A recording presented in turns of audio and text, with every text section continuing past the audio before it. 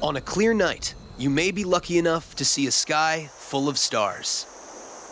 But for most people, these incredible views are hidden by the glow of artificial light.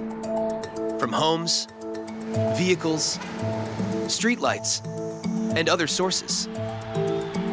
Too much artificial light is known as light pollution, and it isn't just a problem for stargazers.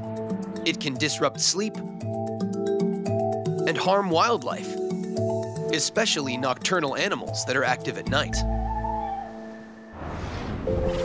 International Dark Sky Week aims to draw attention to this issue by encouraging people to safely enjoy the night sky and promoting ways to limit light pollution. For example, making sure outdoor lights are only used in places that need them, or fitting motion sensors so they're not left on all night. This year's event starts on April 21st, and organizers hope more people than ever will switch off and look up.